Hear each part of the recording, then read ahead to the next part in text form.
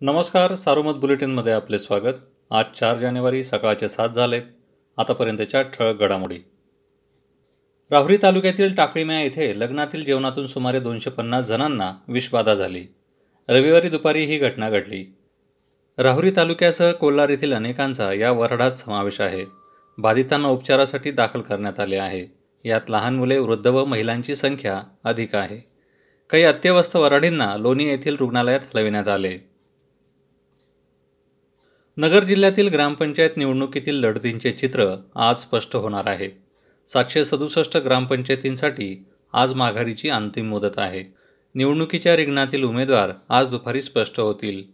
निवडणुकीसाठी विक्रमी अर्ज दाखल झाले. त्यामुळे दुहेरीचा अंदाज असलेली निवडणूक आता अनेक ठिकाणी तिरंगी होण्याची शक्यता आहे. पंधरा जानेवारीला मतदान आहे. जिल्ह्यात नववी ते बारावीचे वर्ग सुरू होऊन आता सव्वा महिन्यांचा कालावधी उलटला. शहरासह ग्रामीण भागात करोना नियंत्रणात असल्याने हळूहळू शाळा सुरू होण्याचे प्रमाणही वाढले आहे. जिल्ह्यात सध्या सत्तेचाळीस हजार नऊशे बारा विद्यार्थी शाळेत हजेरी लावत आहेत. अडुसष्ट हजार सहाशे अठ्ठ्याण्णव पालकांनी संमतीपत्रे भरून दिली आहेत. राज्यातील अन्य जिल्ह्यांच्या तुलनेत नगर जिल्ह्यात सुरू झालेल्या शाळा आणि विद्यार्थ्यांची संख्या चांगली असल्याचा दावा माध्यमिक शिक्षण विभागाने केला.